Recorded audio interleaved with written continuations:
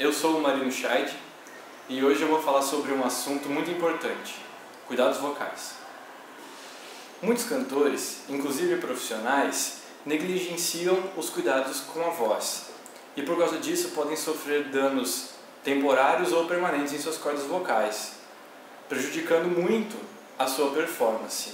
Esse assunto é tão sério que o dano é muito perceptível. Quem nunca viu um artista que hoje já não canta mais como cantava no início de sua carreira? Decepcionante para quem curte o som do cara, né? Imagine para o cantor. Se você não quer que isso aconteça com você, fique ligado nessas dicas que eu vou dar. Primeira dica: respeite a sua voz. Cada um tem um limite de alcance e uma característica vocal, ou seja, não tente cantar as notas que são desconfortáveis para você. Quando você força, isso causa tensão nas cordas vocais. E acredite, a sua voz é bem mais bonita quando você respeita a sua característica. Se você tem uma voz limpa, não tente forçar uma voz rasgada. Explore a sua característica e desenvolva a sua voz para obter o melhor do potencial do seu timbre. Segunda dica: volume. Cantar em volumes muito altos é muito prejudicial para a saúde vocal.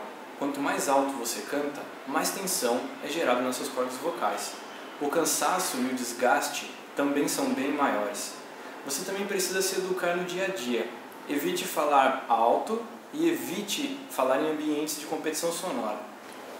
Terceira dica: tenha hábitos saudáveis. Um cantor que preza pela sua qualidade vocal é quase como um atleta. É preciso cuidar da alimentação, do sono e fazer exercícios físicos. Dormir é determinante para o descanso vocal e para a sua performance no dia seguinte.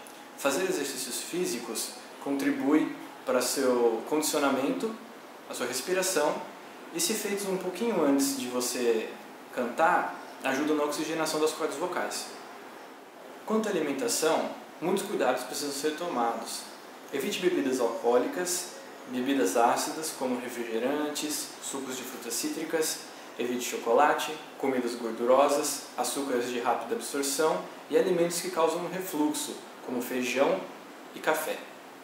Quarta dica: tome muita água. Manter as cordas vocais sempre hidratadas é muito importante, especialmente quando se vai cantar. Quinta dica: não preciso nem dizer que fumar é suicídio vocal, né? Bom, tomando esses cuidados, você vai sentir uma grande melhora na sua saúde vocal e na sua performance. Eu espero que vocês tenham gostado. Se inscrevam no meu canal para receber mais vídeos sobre canto, alguns covers e acompanhar o lançamento da minha banda. Até a próxima. Valeu!